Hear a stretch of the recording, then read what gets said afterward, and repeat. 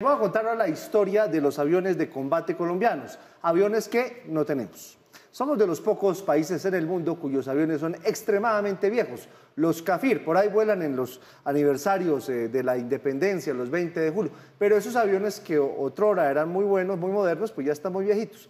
La buena noticia es que el gobierno dice que seguramente, se conoció una información, seguramente después de la COP van a anunciar la compra de nuevas aeronaves para reemplazar el lote viejito. Aquí les vamos a contar cuáles son las cuatro empresas y los tipos de aviones de combate que le van a comprar a la Fuerza Aérea de nuestro país.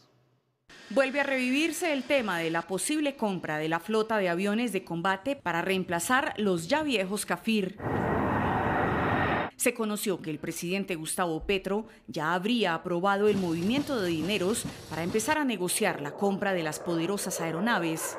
Las cuatro empresas que han estado en la puja por ser escogidas vuelven a activar sus portafolios.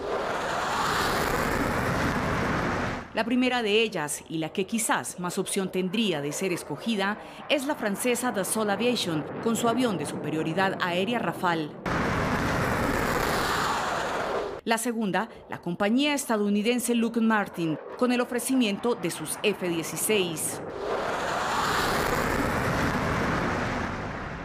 Una tercera opción la entregaría la sueca Saab con las aeronaves Gripen.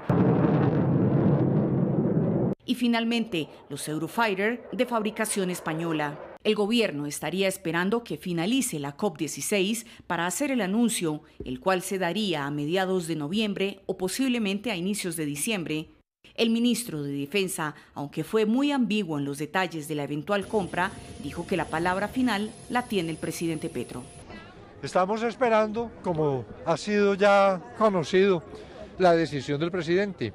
Se ha avanzado, la Fuerza Aérea siguió con su proceso de, evaluación, presenta las preconclusiones del estudio y esperamos que pronto el presidente tome la decisión. Inicialmente se estaría contemplando una negociación por tres o cuatro aviones, sin embargo se esperaría obtener más adelante un total de 10 unidades. Tradicionalmente la flota de aviones de combate en Colombia ha sido de 16. Así las cosas, las cuatro propuestas deberían ser estudiadas por los expertos de la Fuerza Aérea, quienes tendrían que entrar a analizar cuál es la más conveniente, no solo en materia económica, sino lo más importante, en temas tecnológicos, de acuerdo a las necesidades de un país inmerso en conflicto armado como lo es Colombia. Pero, ¿cuál es el costo promedio de un avión de combate? Comúnmente el precio base de salida de una aeronave de superioridad aérea inicia en el millón de dólares.